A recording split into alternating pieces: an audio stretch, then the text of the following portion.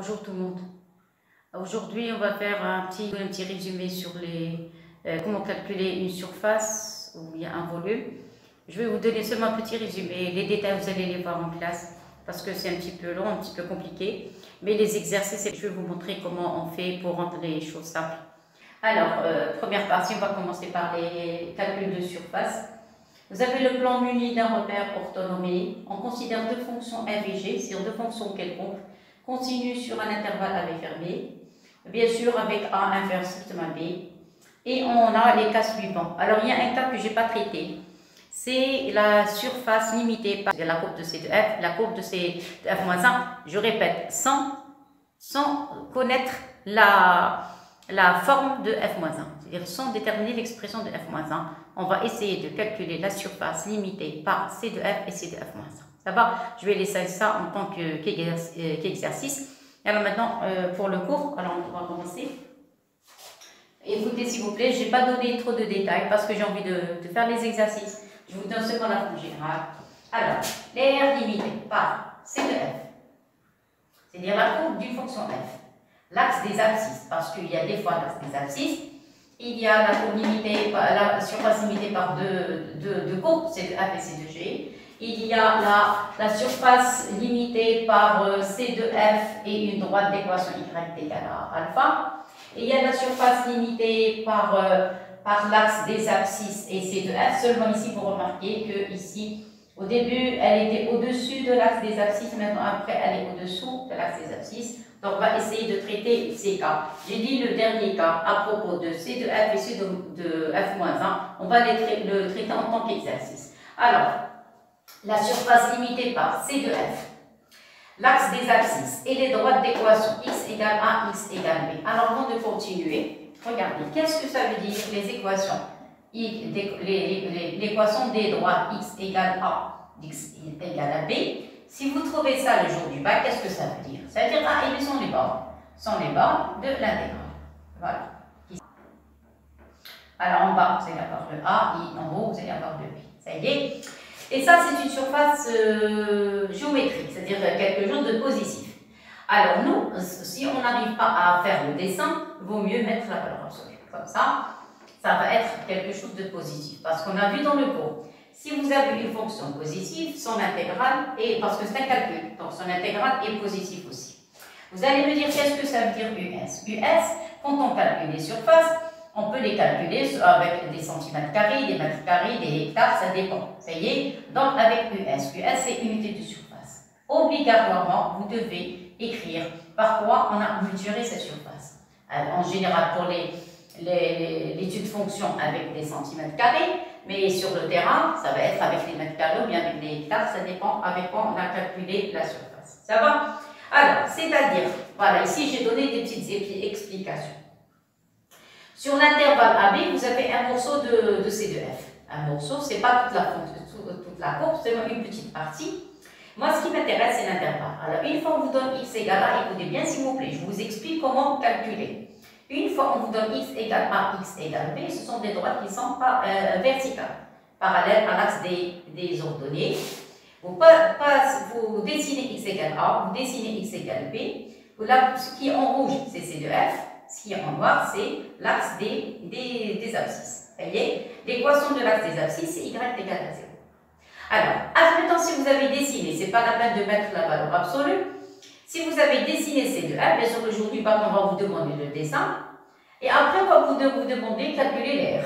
Ou bien la surface, c'est la même chose. Qu'est-ce que vous allez faire? Toujours la partie du haut, moins la partie du bas. C'est-à-dire, ce que vous avez en haut, c'est la courbe C de F. Ce que vous avez en bas, c'est la droite d'équation y égale à 0, c'est-à-dire l'axe des abscisses. Alors, l'air, ça va être de A à B, toujours les bas, x égale A, x égale B, de A à B. Ce qui est en haut, c'est f de x, moins ce qui est en bas. En bas, c'est l'axe des abscisses, c'est 0. dx qs, unité de surface. Ça y est, vous allez me dire que c'est rien le 0. Au contraire, le 0, ça me, ça me dit que euh, ça prouve que la fonction f est positive. Elle est au-dessus de l'axe des abscisses. Donc, si vous écrivez f x moins 0, ça veut dire c de f est en haut et l'axe des abscisses se trouve en bas. Ça y est? Le contraire maintenant, deuxième cas.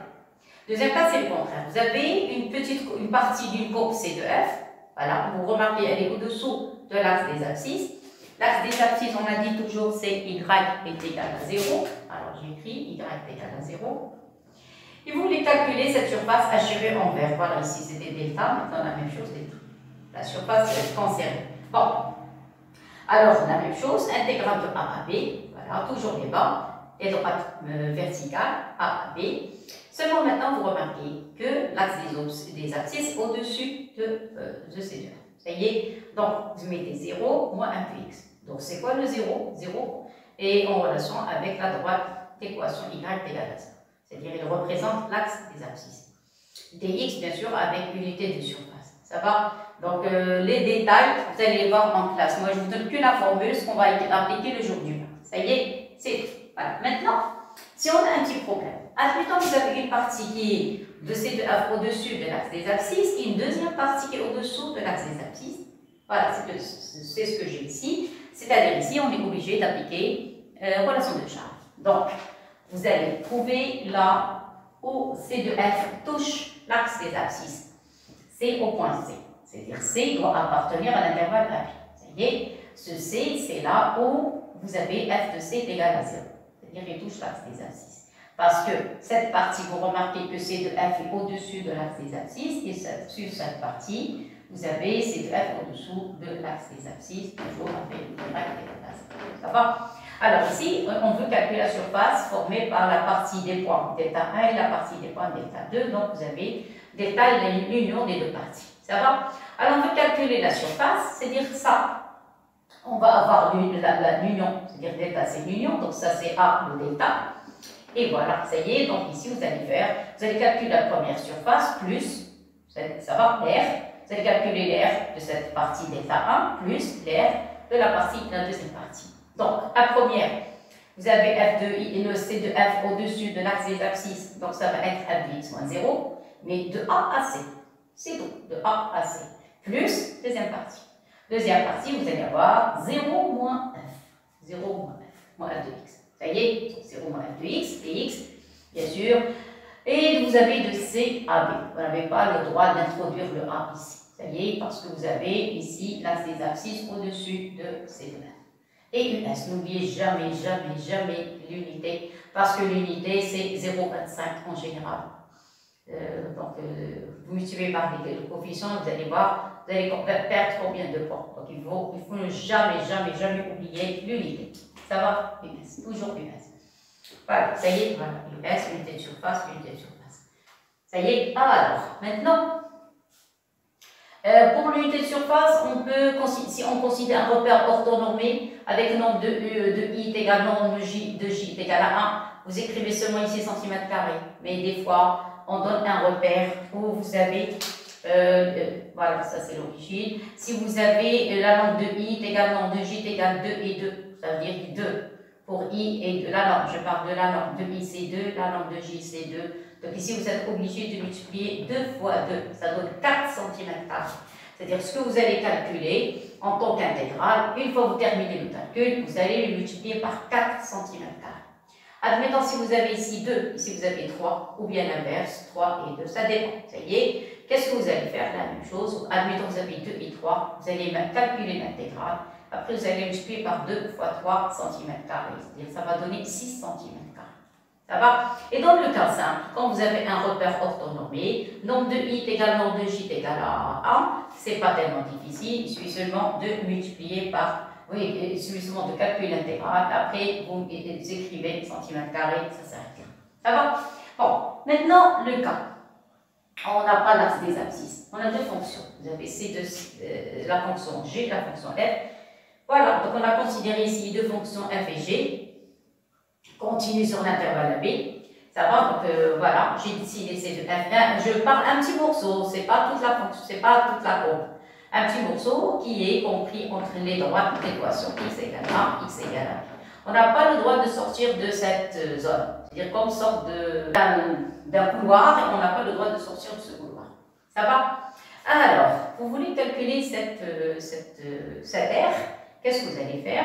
Toujours la partie qui en haut, moins la partie qui est en bas. C'est-à-dire, moi je parle en tant que f de x et g de. Ça y Alors, dans notre cas, vous remarquez que la partie qui est en rouge, c'est C de F, donc je vais écrire ici en rouge. Voilà, vous allez avoir f de x.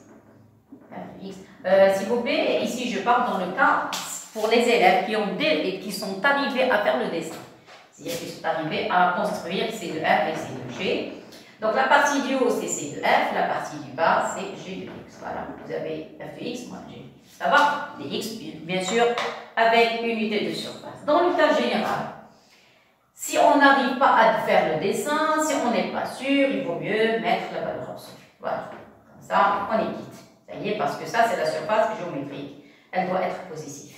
Donc, quand on n'arrive pas à faire les dessins, si on n'est pas sûr, vous calculez f de x moins g de x, ça y est, après calcul, calcul l'intégrale, essayez de donner la valeur positive, et voilà, vous pouvez calculer f de x moins g de x, appliquer la valeur absolue, après l'intégrale, mais n'oubliez jamais, jamais, jamais une des deux surfaces, tout le temps, tout le temps. Ça va? Maintenant, si vous avez une droite y égale à alpha, tout à l'heure on avait la droite y égale à 0, parce que c'était l'axe des abscisses, ou x, l'axe des abscisses, ça va? Maintenant, si on a une droite d'équation y égale à alpha, ça y est, dans ce cas, la même chose. Toujours la partie du haut moins la partie du bas. Voilà, il faut prolonger ici. Voilà, donc ici vous allez avoir y égale à alpha. Ça va? Alors, qu'est-ce que vous faites la même chose? Ça y est, vous écrivez. alors, c'est là, ce qui est en rouge, c'est C de F, correspond à F de X, moins la partie du bas, c'est Y égale à alpha, donc moins alpha. Si on n'arrive pas à faire le dessin, mettez la valeur absolue. Est, si vous arrivez à faire le dessin et vous êtes sûr que le dessin est correct, vous n'avez pas, euh, comme si vous avez ce dessin, vous allez écrire f de x moins alpha et vous avez le résultat. Ça va? Sinon, mettez la valeur absolue et comme ça, vous êtes tranquille.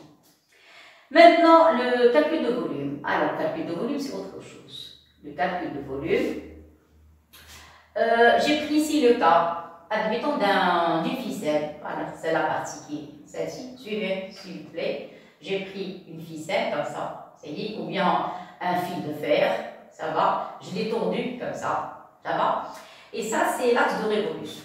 Alors je vais faire une rotation, je vais appliquer une rotation. Donc je fais une, des rotations autour de cet axe.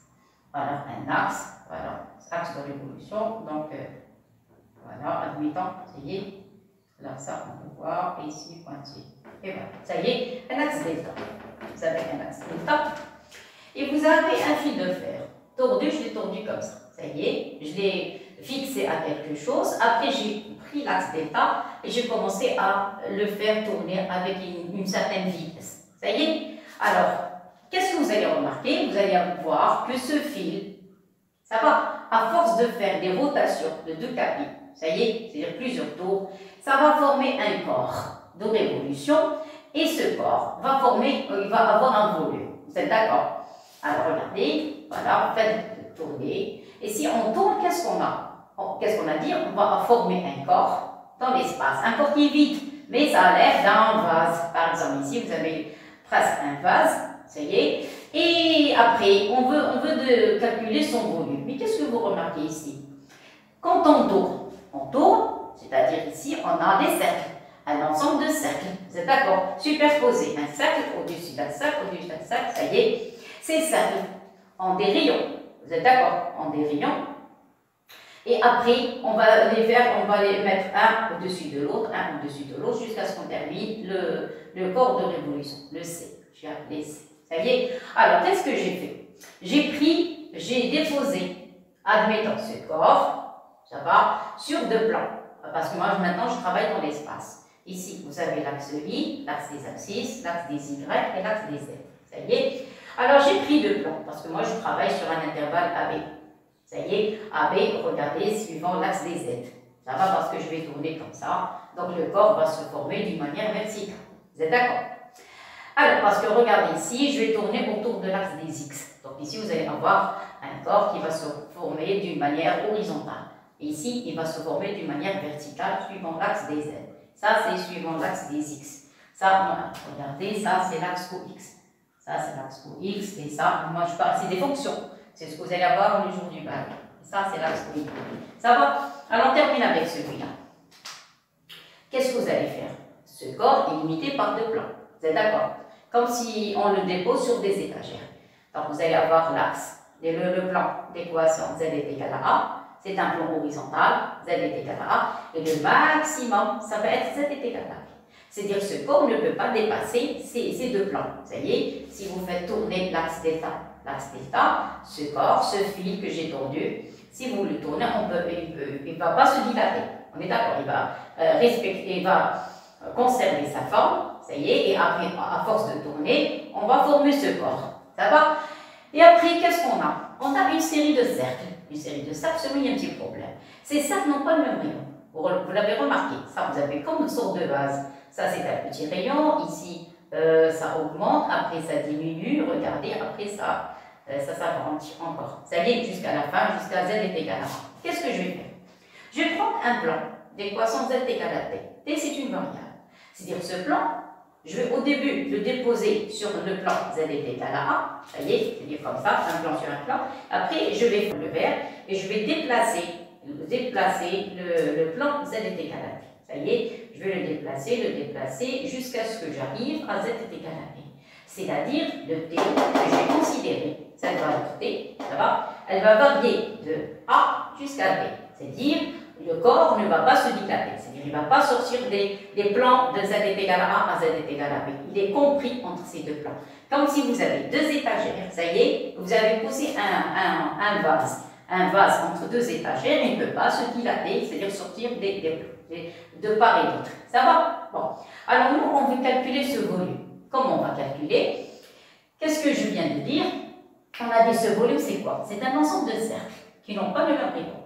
Alors, mais regardez, les centres sont, ils se trouvent sur l'axe delta. Ça va? Alors, si vous prenez ce cercle, celui-là, il a une, hauteur très très fine, très très très fine, c'est-à-dire euh, presque négligeable, qui est envers zéro. Donc, un cercle, comme si vous prenez les CD. Les CD, presque n'ont pas de hauteur. Ça y est, c'est la même chose. Ce sont des CD qui n'ont pas le même rayon parce que les CD en général ont le même rayon. Vous prenez des CD qui n'ont pas le même rayon, ça y est, mais ils ont la même hauteur. Alors, vous allez mettre un au-dessus de l'autre, un au-dessus de l'autre, jusqu'à ce que j'arrive à cette partie. Ça y est, donc c'est quoi le volume? C'est une somme de, de, de cercles. Si vous avez un cylindre, parce que le cylindre, il a la même forme. Le cylindre, ce sont des, comme des CD qui ont le même rayon. Donc, si vous posez un CD au-dessus de l'autre, vous allez former un cylindre. Ça va Mais ici, je n'ai pas les mêmes rayons. Donc, ça va, être, ça va rester que des cercles. Au-dessus du deuxième, troisième, quatrième, cinquième, jusqu'au dernier. Jusqu'à ce que j'arrive au plan d'équation Z est égal à P. Ça y est Donc, la surface S de T, regardez, avec T variant de Z est égal à A, de A jusqu'à B, la surface S de T et l'intersection du corps, le corps qu'on a euh, formé autour de l'axe delta, avec le plan d'équation Z est égal à T. Ça y est, donc ici j'ai pris un T, qu'est-ce qu'on a dit Qui appartient à l'intervalle, voilà, T appartient à l'intervalle A. Ça va? Alors, si T, si la fonction de T, on fait correspondre S de T et continue sur AB, parce qu'en général, quand on parle de l'intégrale, il faut avoir une fonction continue. La surface, fonction continue, S de T, si elle est continue sur AB, ça y est, si on a un seul morceau. Y est, si vous avez S de T, à T on fait correspondre S de T qui continue sur AB, alors le volume de ce corps, le corps C, est déterminé par intégrale. En général, on ne les appelle pas des intégrales, on les appelle des sommes. Somme de A, somme de A à B.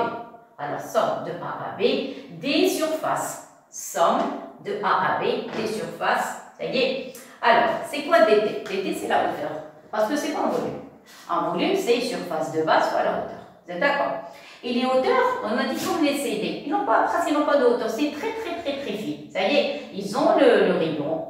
C'est-à-dire, si vous voulez calculer la surface, c'est pas un élément difficile. Surface d'un cercle, c'est quoi? C'est pi r carré. Vous êtes d'accord? Donc, si moi, je pars dans ce cas. Ça y est. Après, je vais, je vais vous parler de la sphère, parce que la sphère, c'est quoi? La même chose. Donc, le parallélépipède rectangle, le cas d'une boîte, c'est un rectangle, regarde, c'est un rectangle qui a une, euh, une largeur et une longueur, mais il a une hauteur. Ça va? Voilà, ça c'est le cas du, parallélépipède rectangle. Si vous parlez des, des, des, cubes, vous avez trois côtés égaux, même dimension. Vous avez A, A et A. Hauteur, largeur et longueur. A, A et A. Ça va? Donc, euh, chaque cas, on a une forme. Mais tout, toujours, on part des trucs de base, c'est-à-dire euh, les, les, formes de base. Vous avez des carrés, des rectangles, des losanges, des cercles, des disques. Ça va à partir de ces formes, parce que ces formes ont des surfaces. Et nous, on veut former des volumes. Donc, si on veut former des volumes, on part d'une surface, on la pose sur euh, le plan d'équation Z est égal à A, et après, on se, dépasse d'une manière ou bien verticale, ou bien d'une manière horizontale. Ça dépend du déplacement, ça y est, et comme ça, on va former des volumes. Comme le cas ici, regardez, le cas d'une fonction quelconque.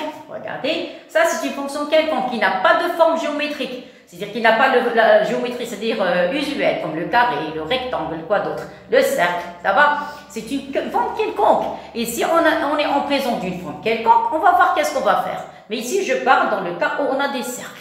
Ça va? Après, je vais vous parler des cas où on a des, des, rectangles, le cas où on a des losanges, la forme d'un losange, le cas où on a la forme d'un, qu'est-ce qu'on a dit, d'un carré, ça va? Mais moi, je parle ici quand vous avez euh, un axe et on tourne autour d'un axe de révolution.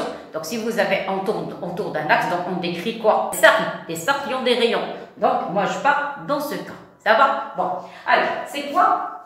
C'est quoi le volume? Le volume ici, quand on se déplace, vous avez surface de base, voilà la hauteur. Surface de base, c'est S de T. La hauteur, c'est dt. dt est très minime, très très très fine, presque qui tend vers 0.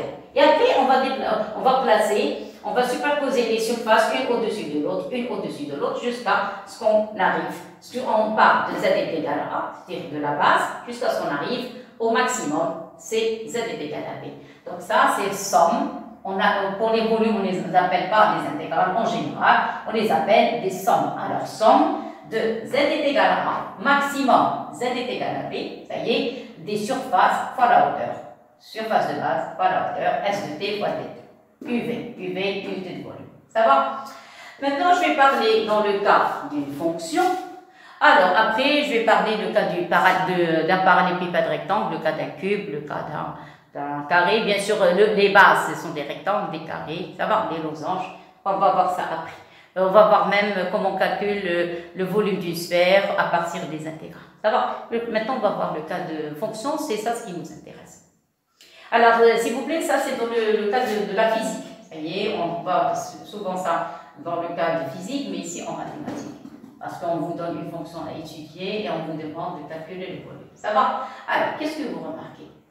Vous avez un morceau de courbe, C de F. Ça y est, on va travailler sur les sur l'intervalle x égale à 1, x égale à b. Ça va? Donc ici, suivez s'il vous plaît, c'est pas la même chose que tout à l'heure. C'est la même chose, mais ici, je vais. Alors, vous prenez la droite, voilà.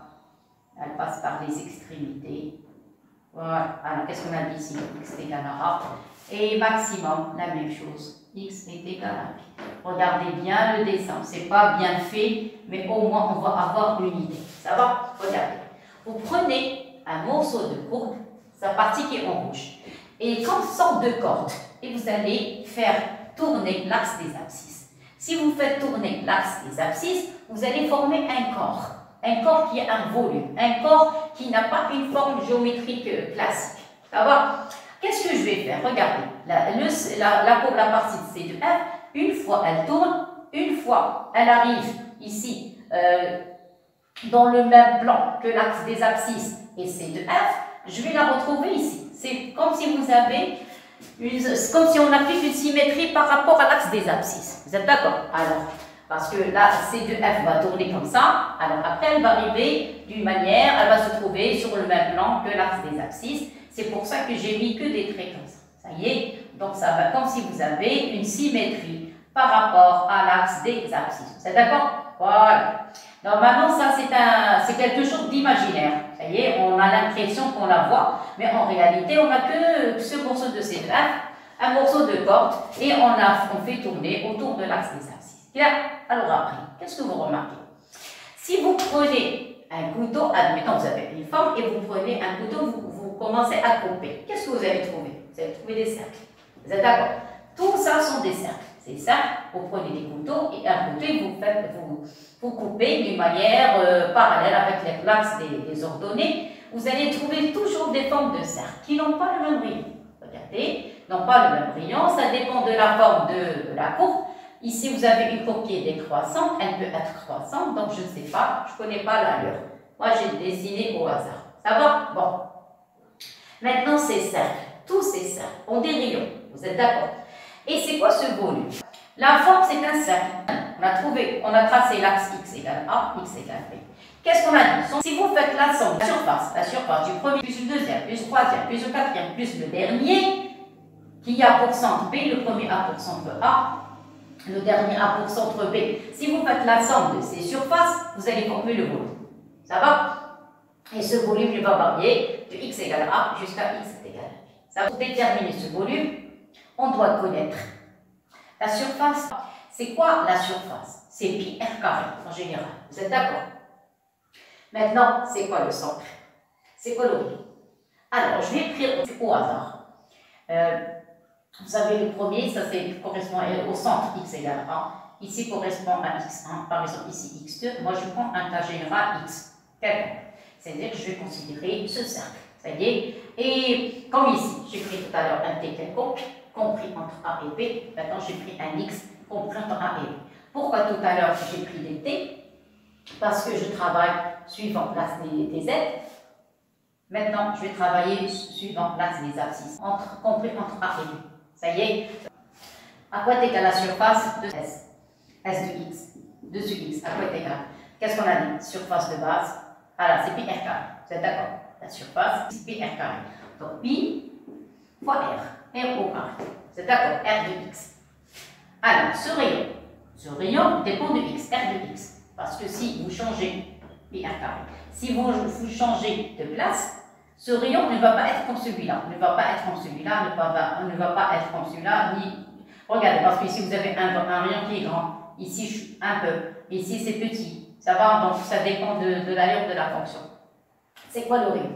Alors le rayon, quand on a un cercle, regardez, quand vous avez un cercle, vous avez le centre, le centre, moi j'ai x, c'est le centre, le rayon c'est cette distance. Une fois que je touche le cercle, j'ai le rayon, c'est d'accord, c'est ce que je vais faire.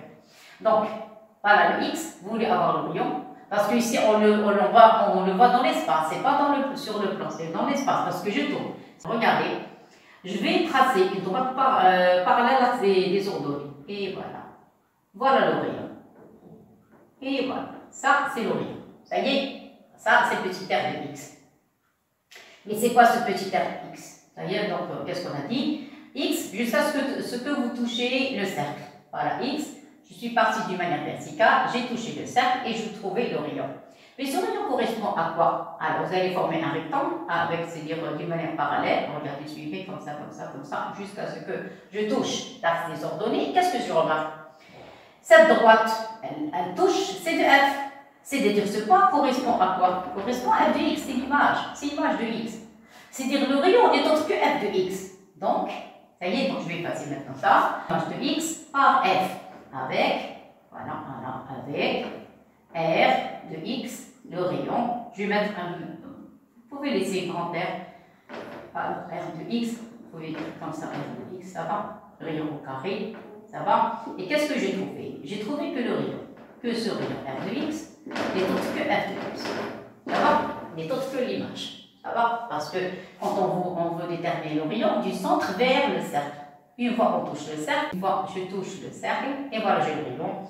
Le rayon, une fois je touche le cercle, voilà, j'ai touché C de F, donc d'une manière parallèle, j'ai l'image. Ça va Et par conséquent, ceci indique A est égal S de X. S de X n'est autre que pi F de X au carré.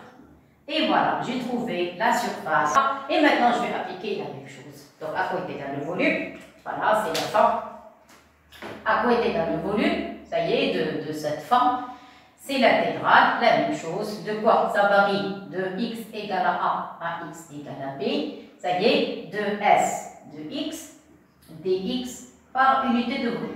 Ça va comme tout à l'heure. Tout à l'heure, c'était s de t dt. Maintenant, s de x dx. Mais c'est quoi s? La surface. Ça y est, c'est pi f au carré. Et maintenant, je termine. Ça y est. Le volume, le volume il est plus simple que, que la surface. Et voilà, ça y est, et par conséquent, donc, à côté de le volume, pour remplacer, donc le volume est égal intégral de A à B, ça y est, de, qu'est-ce qu'on a dit? S, S c'est quoi? C'est pi. F au carré de x dx par unité de volume. Vous pouvez faire sortir le pi à l'extérieur et vous avez à côté de le volume, c'est pi intégral de A à B f au carré de x dx par unité de volume. Ça va? Et vous remarquez ici, pour le volume, on n'a pas de problème euh, par rapport, regardez, pour les, surfaces, on doit connaître la, la, courbe qui est dessinée au-dessus de l'autre, ça y est, pour comme ça, parce qu'on a un problème de signe. Alors regardez le résultat final, je n'ai aucun problème avec le signe. Calculer intégral de A à B, c'est-à-dire, si on vous demande un calcul de volume, suffit seulement de calculer au carré, appliquer l'intégrale, multiplier par pi et multiplier par unité de volume. Je répète, je ne vous ai pas donné ça en détail. Il y a des trucs qui manquent, c'est sûr. Ça y est, il y a des trucs qui manquent. Euh, mais d'une manière grosso modo, voilà euh, la forme générale. Ça y est. Donc, si vous trouvez quelque chose qui manque, c'est à vous de, de compléter. D'accord? Allez, on continue. Alors, voilà une petite application sur le volume. On vous donne une fonction f définie par f x égale à exponentielle. Ça, c'était un bac. Exponentielle 2, 2 euh, exponentielle 2x moins racine de 1 plus 3 exponentielle 2x. Première question, on vous demande de calculer l'intégrale i. Et deuxième chose, on va vous demander de calculer le volume. Ça y est, on va parler du volume appris. Maintenant, au début, on va calculer l'intégrale i. Alors, à quoi est égal i? Première question, vous avez i est égal intégrale de 0 alors, ln de racine de 8 exponentielle 2x, racine 1 plus 3 exponentielle 2x dx. Alors, s'il vous plaît, quand vous avez une racine au numérateur, ce n'est pas une forme usuelle. Alors, il vaut mieux la mettre sous forme de 1 demi. Ça y est, vous allez rendre l'intégrale plus simple. Alors, ln de racine de 8, vous allez écrire exponentielle de x, et ici, vous allez mettre 1 plus 3 exponentielle de x à la puissance 1 demi dx. Ça y est. Donc, si vous avez racines, les racines d'une manière globale, il faut les mettre sous forme de, de, fractions. Ça devient le, calcul de notre exemple. Après, vous allez poser u de x. C'est quoi u de x? U de x, c'est la fonction que vous avez ici. 1 plus 3 exponentielle de x. C'est quoi sa dérivée? U'. Alors, u' de x est égal à dérivée de 1, c'est 0. Le 3, on va le garder. Exponentielle de x, c'est 2 exponentielle de x. Donc ça donne 6 exponentielle de x. Vous remarquez ici, qu'on a exponentielle de x, il manque un 6. Donc je multiplie par 6 divisé par 6 ici. Donc, à côté de l'intégrale i, je vais mettre un sixième. Ça va, je vais mettre l'intégrale de 0 à ln de racine de 8. Ici, il me manque un 6 pour avoir u', donc 6 exponentielle de x.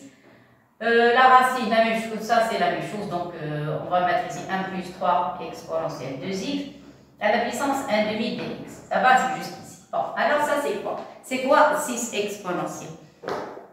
6 exponentielle, c'est u'. Alors ça, c'est u' de x, et ça, c'est u de x à la puissance euh, n, cas général. Ça y est?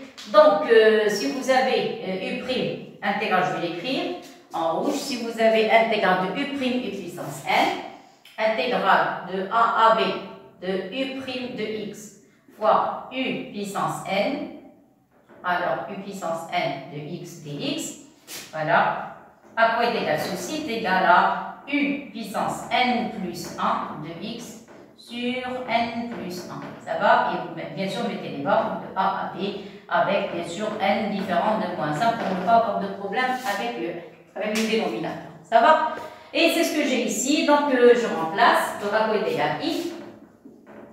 Donc le i est égal, qu'est-ce qu'on a dit? C'est un sixième, un, sixième d'abord. Ça y est, vous allez avoir ici 0, ln de racine de 8, vous allez remplacer 6 u de 2x par u' de x, ici ça va donner u à la puissance 1 demi de x dx. Ça va? 1 demi joue le rôle de n. Et par conséquent, vous allez avoir un sixième, ça va, et vous allez avoir u puissance 1 demi, vous ajoutez 1, ça y est, et la somme ça donne 3 demi, vous divisez par 3 demi, ça va, et vous avez les bornes de 0 à ln de racine Alors on inverse 2 sur 3, vous simplifiez, il va rester un neuvième. Voilà, il va rester un neuvième. Essayez d'effectuer le calcul. 3 demi, je change les places. Vous allez voir 2 sur 3. 2 avec le 6, il va rester un 3 avec 3, ça donne un neuvième. Il va rester u puissance 3 demi.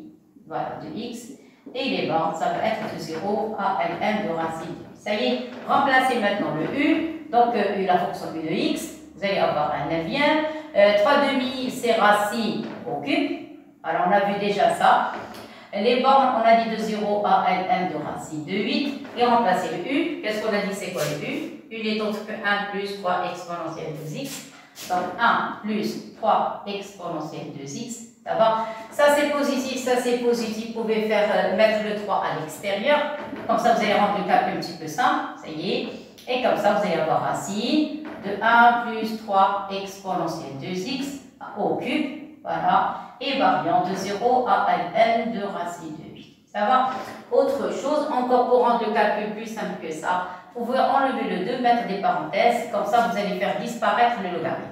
Ça va Donc ça donne 1 neuvième. Ça c'est pour faciliter le calcul, sinon vous pouvez euh, sauter tout ça. Donc vous allez avoir 1 plus 3. Vous allez mettre exponentielle x, mettez les parenthèses, mettez au carré, le cube à l'extérieur, ça va le cube à l'extérieur et 0 ln de racine de 8. Et comme ça, vous allez voir le calcul, ça va être très très simple. Alors, ln vient remplacé par ln de racine de 8. Si vous mettez ici ln de racine de 8, le ln avec l'exponentielle va disparaître. Il va rester que racine de 8.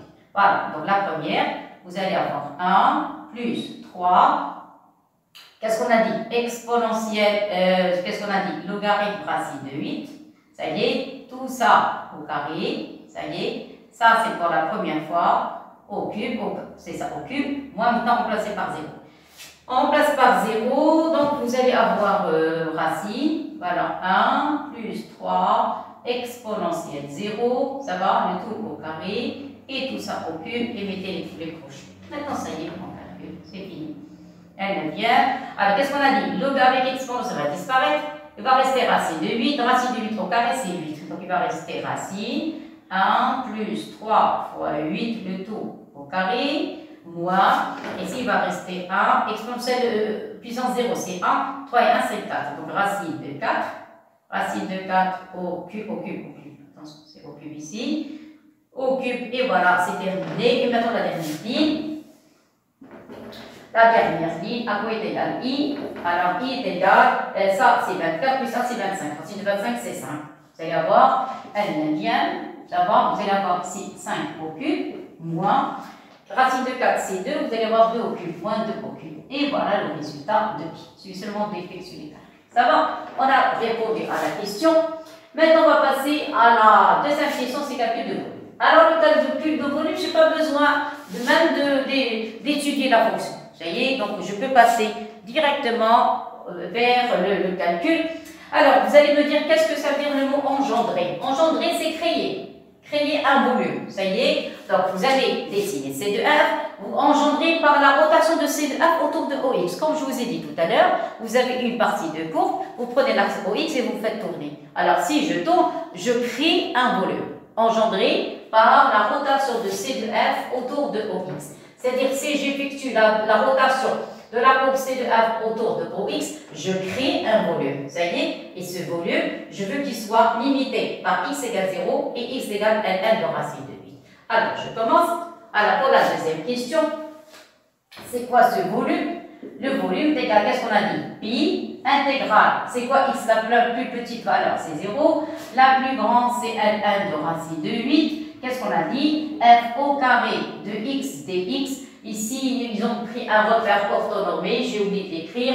Alors, euh, enchanté, dans alors, alors, avec OIJ, voilà, je vais l'ajouter, avec OIJ, repère orthonormé. Alors, repère orthonormé. Et voilà, ça y est, c'est-à-dire avec la norme de I est égale à la norme de J est égal à 1. Ça y est, comme ça, on n'a pas de problème. Ça y est, est égal à 1 parce que moi je travaille avec un volume. Donc je tourne autour de l'axe des i. Ça y est. Voilà, donc on va dessiner. Bien sûr, le départ, ils ont pris un repère orthonormé au IG pour pouvoir dessiner C de F, ça y est. Et pour former le volume, le volume, on tourne autour de, de OX et comme ça, on crée, on crée 3D, c'est-à-dire dimension 3, ça y est. Mais le dessin, le, le départ, c'était dans un repère orthonormé au IG. Ça va? Très très bien. Alors maintenant, je continue le calcul. Vous allez écrire pi, ça y est, intégral de 0 à n de racine de 8. Remplacez la fonction, vous avez 2 exponentielle 2x moins racine de 1 plus 3 exponentielle 2x, le tout au carré. Voilà, dx par unité de volume. Ici, vous avez un repère orthonormé, euh, K normal, donc vous allez écrire centimètre au cube. C'est-à-dire ici, ils ont pris la gamme de i euh, je répète, quand on a dessiné C de F, on a pris la norme de I est égale à la norme de J est égale à 1. Bien sûr, la création du, de K, c'est quand on tourne autour de, autour de OX, on crée dimension 3. Donc vous allez avoir dans ce cas 3, 3D. Ça y est Alors maintenant, c'est une identité, il faut développer. Donc vous allez avoir pi intégrale de 0 à ln de racine de 8. Développer, c'est a moins b carré. Vous allez avoir 4 exponentielle 4x. Je, je, passe directement. Ça y est, moins 2 fois. Avec le 2, ça donne moins 4. Exponentielle 2x racine de 1 plus 3 exponentielle 2x plus b carré. La racine va disparaître. Il va rester 1 plus 3 exponentielle 2x. Voilà, tout ça dx par centimètre au cube. Ça y est, donc, euh, je vais former deux intégrales, je vais mettre des crochets. Vous allez avoir ici 4 exponentielle 4x plus 1 plus 3 exponentielle 2x. Ça, c'est facile à calculer. Donc, de, 0 à ln de racine de 8. Et le deuxième calcul, je vais euh, mettre le 4 à l'extérieur. Ça va Et l'intégrale. Ici, vous allez avoir exponentielle 2x, racine de 1 plus 3 exponentielle 2x dx et ça varie de 0 jusqu'à n de racine de 8. Il faut fermer et écrire euh, centimètre cube. Et voilà. Ça, vous allez avoir pi intégrale. Le 4, c'est du constant, je ne touche pas. Ça y est, et ça, c'est euh, la, la, primitude exponentielle à x, c'est exponentielle à x sur a. C'est-à-dire vous allez avoir exponentielle à x sur a, c'est-à-dire sur 4. Ça, c'est pour le premier. Le 1, c'est x. Le 3, je ne touche pas. Exponentielle 2x, c'est exponentielle 2x sur 2. Intégrale de a à b, exponentielle alpha x dx. Qu'est-ce que ça donne? Ça donne exponentielle alpha x sur alpha. Sur alpha et variante de a à b, bien sûr, avec alpha différent 0. Sinon, on a des problèmes. Ça va terminer pour le premier. Donc, ça varie entre 0 et ln de racine de 8. Ça va? Vous allez avoir moins 4. Et ça, c'est quoi? Ça, c'est i. i qu'on a calculé tout à l'heure moins 4i. Et voilà, c'est tout. Et vous allez, pour ne pas avoir de problème, donc je vais mettre ici un petit crochet et le grand crochet. Et voilà, ça va? Voilà, centimètre au. Et ça va Alors maintenant, le calcul, le 4 avec le 4 va disparaître.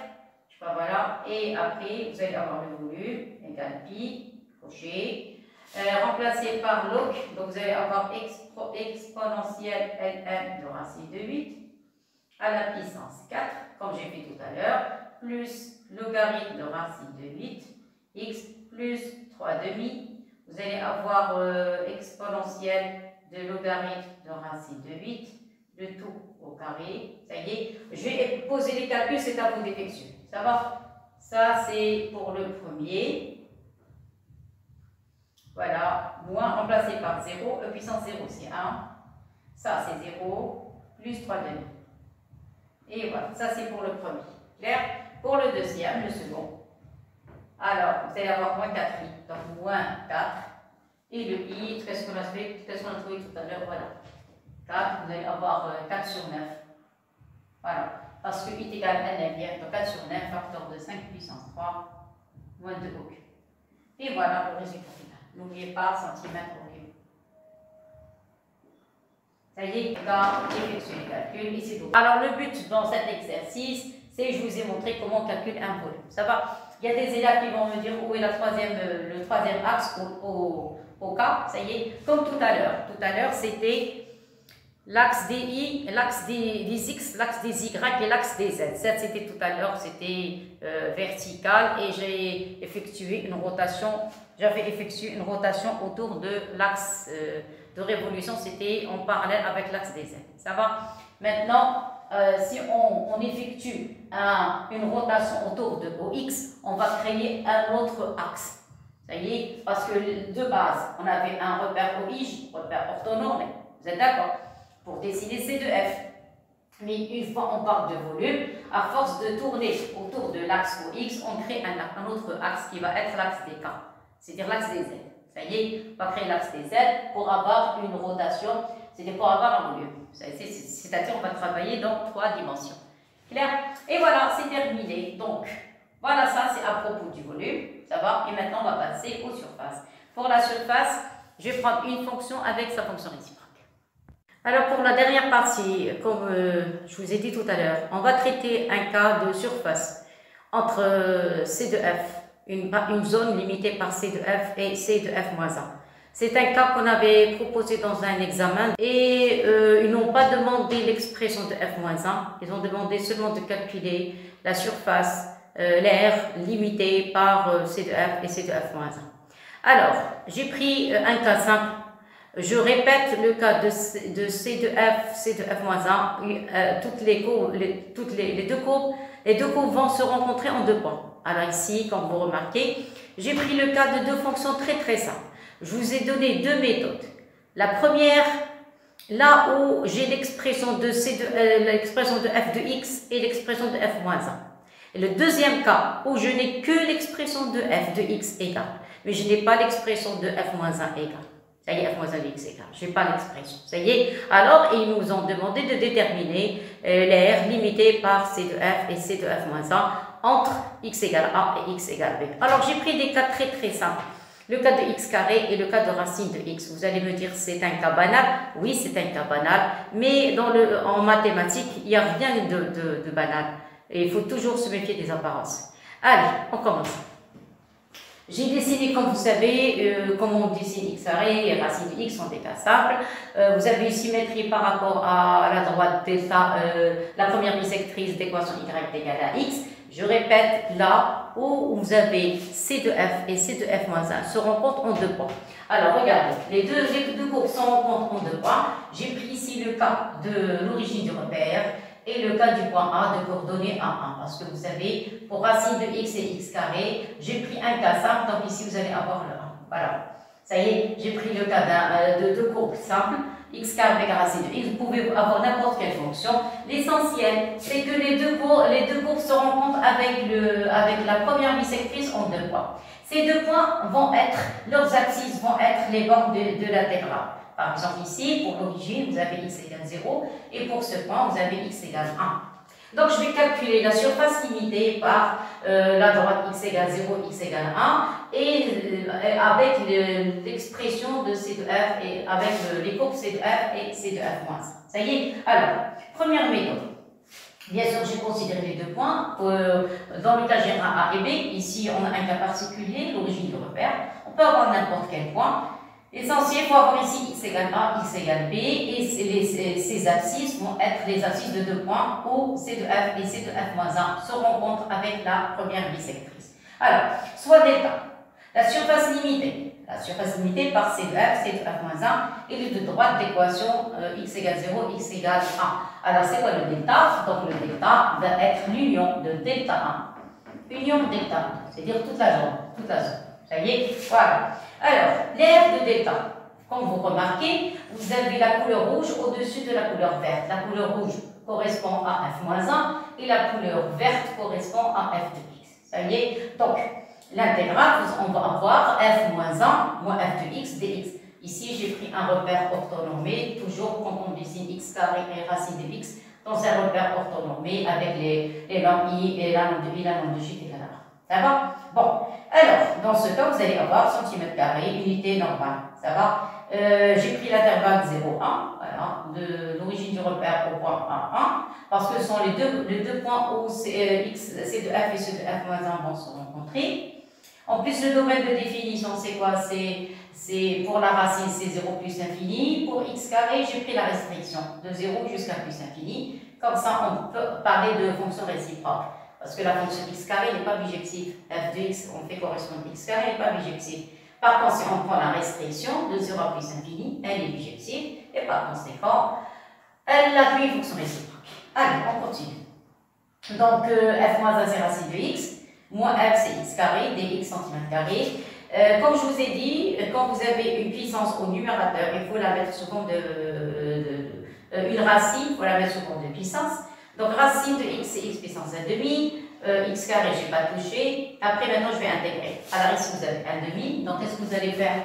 Vous allez ajouter 1, ça devient 3 demi sur 3 demi. Ici, vous avez x carré, on ajoute 1, ça devient x au cube sur 3. Ça y est. Alors après, x puissance 3 demi, c'est racine de x au cube.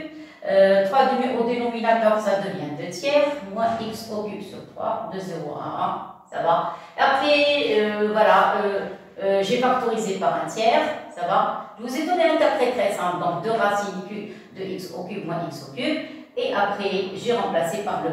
Alors, si vous remplacez par 1, ça donne 2 moins 1, par 0, ça donne 0, et l'air, ça va être un tiers de, C, un tiers de, un tiers centimètre carré. Vous êtes d'accord? Donc, c'est un cas qui est très très simple. Mais une fois que vous passez au cas compliqué, donc vous avez déjà la méthode en tête. C'est ça ce qui m'intéresse. Bon. Mais le jour du bac, on ne va pas vous donner cette méthode. Parce que ça, c'est un cas qui est simple. Si vous avez l'expression... Alors, je parle maintenant dans le cas général. Parce que ici, je vous ai donné deux fonctions très très simples. x carré, racine. Ça fonctionne réciproque. Mais dans le cas général, on ne va pas vous donner des fonctions simples. On va parler dans le cas général, c'est-à-dire une fonction f avec sa fonction réciproque. Ça y est? Et en général, on ne donne pas l'expression de, de f-1. C'est vraiment rare. Si on le donne, l'affaire est réglée. Mais si on ne donne pas l'expression de f-1, donc vous ne pouvez pas appliquer la première. C'est raté. Ça y est, donc la première méthode est ratée. Alors, dans ce cas, qu'est-ce qu'il nous faut? Il nous faut euh, le plan B. Alors, le plan B, l'essentiel. Voilà ce que je dois avoir pour ne pas avoir de problème. Vous allez dessiner C de F. Ça y est, euh, il y a des gens qui euh, ne peuvent pas arriver à C de F et des F qui ne peuvent pas arriver à dessiner C de F. Dans ce cas, vous allez mettre la valeur absolue. Ça y est, si, comme ça, on, ne risque pas d'avoir de problème avec les C. Ça va Bon. Alors, dans le cas général, je répète, on va vous demander de déterminer les points de, rencontre euh, ou bien résoudre l'équation. Je répète, alors deuxième méthode, on peut vous demander, écoutez bien, on peut vous demander, alors remarque, de résoudre l'équation f de x.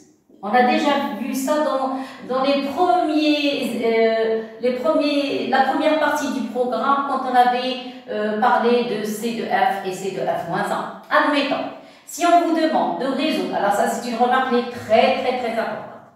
Si on vous demande, écoutez bien s'il vous plaît, on vous demande de résoudre l'équation f de x égale à f moins 1 de x. Il y a des élèves qui l'ont oublié, il y a des élèves qui l'ont pas oublié, c'est bon, c'est bien.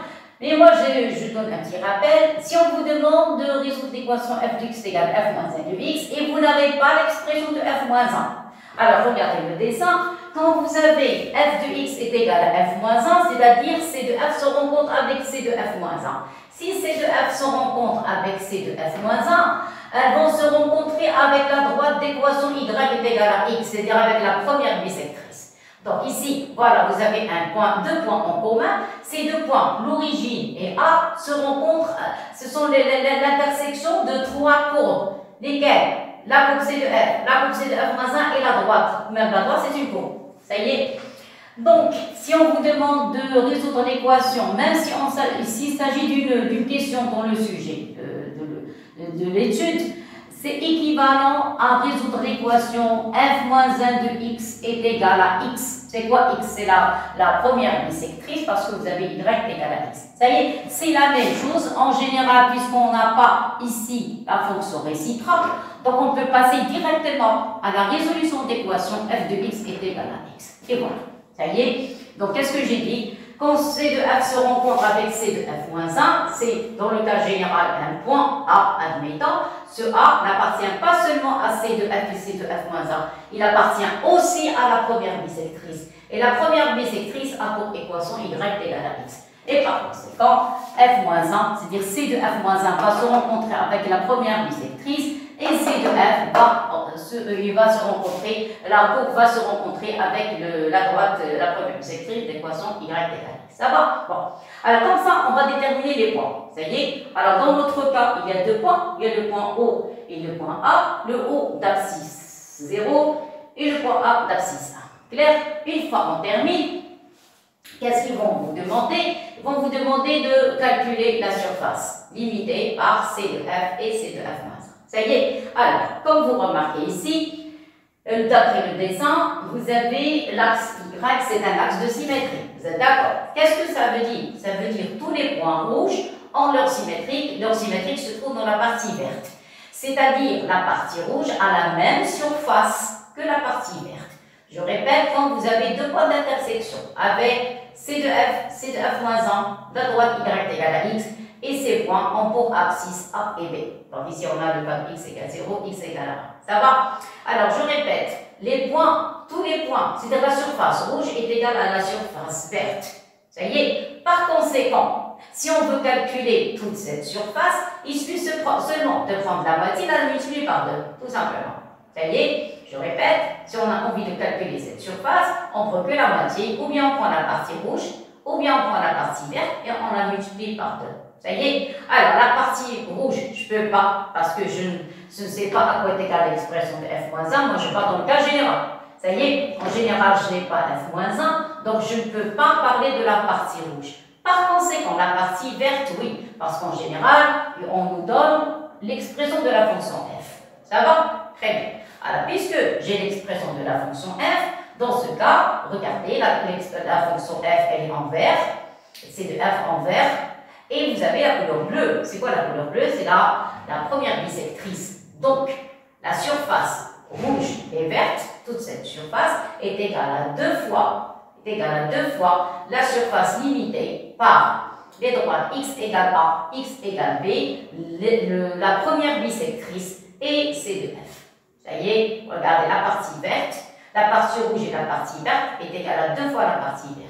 La partie verte, elle est limitée par quoi Par la première bisectrice C de F, la droite x égale 0, et la cas général x égale A, x égale B, première bisectrice et C de F. Ça y est. Alors, quand on ne sait pas, euh, si, on n'arrive pas à décider, si on ne connaît pas la position de la première bisectrice, la, la, position relative de C de F avec la première bisectrice, dans ce cas, vous allez mettre la valeur absolue, et comme ça, le problème de signe est résolu. Mais nous, ici, on n'a pas de problème. Donc, on sait que la première bisectrice au-dessus de C de F, et par conséquent, regardez, voilà. Donc, delta, c'est la zone delta, ou bien la surface. La zone delta est égale à l'union de delta 1 avec delta 2, ça y est, et par conséquent, vous avez l'air de delta 1 égal à l'air de delta 2. Vous êtes d'accord? Parce que vous avez une symétrie euh, axiale d'équation et la droite y égale x, c'est-à-dire la première bisectrice. Et par conséquent, A de delta va être deux fois A de delta 1. C'est quoi delta 1 C'est la surface en vert. La surface en vert, elle est limitée par la première bisectrice, la droite, et c'est la première bisectrice au-dessus de, regarder en haut, vous avez la première bisectrice, en bas, vous avez C2. Ça y est? Donc vous allez avoir Y moins F de X. Ça va? Or, à quoi est égal Y La première bisectrice, c'est X f de x, dans cas général, vous allez remplacer par son expression. Ça y est, vous allez intégrer l'intégrale de x, si vous avez puissance 1, ça devient x carré sur 2, x carré c'est x au plus sur 3. Vous allez euh, réduire, vous allez réduire au même dénominateur, et comme ça, regardez, on trouve la même valeur. Et voilà, ça y est, et voilà, vous avez A de détail, A de détail. Ça va, comme ça, le problème est résolu. Je répète maintenant dans le cas général, vous avez une courbe une, fonction f, vous n'avez pas l'expression de f moins 1. Admettons vous demande de déterminer l'intersection de c de f avec c de f moins 1, ou bien de résoudre l'équation f d'x égale f moins 1. Il suffit seulement, regardez, la première, celle du milieu, je, n'ai pas l'expression de f moins 1 en général, donc je ne peux pas parler de la partie du milieu. Donc au lieu, au lieu de résoudre cette équation, vous allez résoudre directement voilà, f de x est égal à x et le problème est résolu. Alors, vous allez trouver deux points d'intersection avec, entre c de f et c de f moins 1, ça y est. Alors, et par conséquent, voilà, vous allez trouver euh, l'axe y égale à x symétrie c'est un axe de symétrie, c'est-à-dire la surface en rouge, dans le cas général, surface en rouge est la même que la surface verte, et par conséquent, la surface de delta, c'est l'union des surfaces, et par conséquent, vous allez faire deux fois, deux fois la première bisectrice moins, f de x, ou bien f de x moins y, ce que vous voulez. Ça y est, euh, pas ce que vous voulez, selon, selon le, dessin, si vous arrivez à dessiner. Sinon, mettez la valeur absolue. Ça y est, donc vous allez avoir deux fois. Qu'est-ce qu'on a dit? Y moins f de x, ou bien f de x moins y. Voilà, ça y est. Mais nous, ici, on sait que la première bisectrice au-dessus de, de C de f, et dans ce cas, Ça va? Et comme ça, vous pouvez calculer la surface. Ça va? Alors ça, c'était un bac. Bien sûr, ce n'est pas la fonction x c'est sûr. Mais ici, je vous ai donné un exercice très très simple où on a fait une vérification. On a trouvé vraiment, c'est juste, au lieu de, de passer de f, de, du calcul de surface entre c de f, c de f moins a, il suffit seulement de prendre, de calculer la surface entre limitée par la première bisectrice et c de f, c'est tout. Bien sûr, toujours de x égale à a, x égale à b, avec c'est quoi a et b? Les abscisses des points de rencontre de euh, c de f avec c de f. Ça y est, voilà, c'est terminé. Alors maintenant pour les terminations SMAT, la prochaine vidéo, ça va être sur les sommes de Riemann. Au revoir tout le monde.